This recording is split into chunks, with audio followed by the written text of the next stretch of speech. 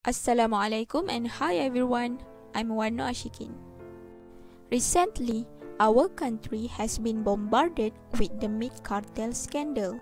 According to reports, the import of non-halal meat camouflage as halal meat has been going on for decades. Regrettably, the people have been cheated for a long time, and many irresponsible players who are involved directly or indirectly in this meat scandal have made their money. Following this expose, the stigma over non-halal or dubious meat consumption will remain in the minds of Malaysians for a long time to come. Both Muslim and non-Muslim are consumers of imported meat. So, the contention here is more of these meat cartels' unethical practice to lump all types of meat as halal or consumable when the source of this meat is questionable. No matter what steps are taken by JAKIM or the government to overcome these abuses, it is difficult to curb meat cartels from their manipulative demeanor. This pickle will go on as long as the country is dependent on imported meat. There are 32 million Malaysians and about 90% of them consume meat. Unfortunately, until today, nothing much has been done to ensure an adequate supply of beef and mutton in the country. In 2020, it was forecast that the Malaysians would consume an estimated 49.4 kilograms of poultry meat per person, this put Malaysia amongst the top global consumers of poultry meat worldwide. However, there was a massive gap in beef and veal consumption, pork, and also sheep.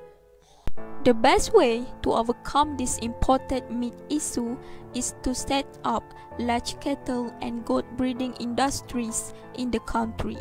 Local authorities can then supervise meat production. To ensure that this does not require, why not allow the livestock industry to be pioneered by foreign investors or the local private sector interested in this industry? The government should provide incentive to these investors to venture into this field so that livestock, slaughtering, and packaging will be easier to monitor if they take place locally. We could also use oil palm, coconut tree, and rubber plantation to be integrated with our cattle, goats, and sheep. We are making use of weeds under the plantation. Species of forage identified include Paspalum conjugatum, Axonopus compressus, and Imperata cylindrical. For example, a cattle integration system with oil palm can be a living biological lawn mower. The benefits of cattle integration in oil palm as it can reduce labor costs up to 50% per hectare, reduce pesticide costs 30 to 50%, and increase oil palm fresh bunch yields by 6 to 30% stated by Lam et al. 2009.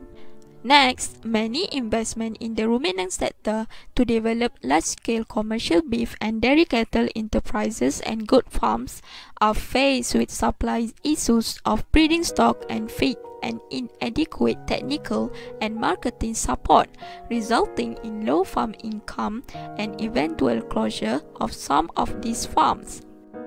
Perhaps it is time to strategize the commercial production of beef in this country by introducing new husbandry practice abandoned in new business models that are readily facilitated by a comprehensive supply chain.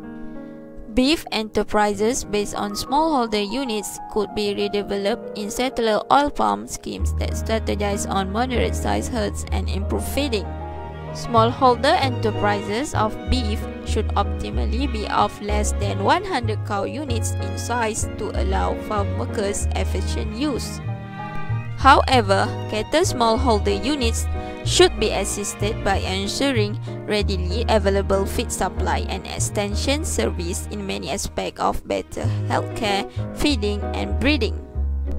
Therefore, extension agencies and privately managed service providers should be encouraged to provide smallholders with the necessary production inputs and required services involving the breeding, healthcare, and marketing of the animals. Sale outlets such as auction points for market animals would greatly facilitate the sector and instill confidence among producers to stay in their business. In the future, I hope Malaysia will be able to achieve self-sufficiency level SSL for meat industry especially beef and veal, pork, sheep and also goat. Thank you for listening. Bye.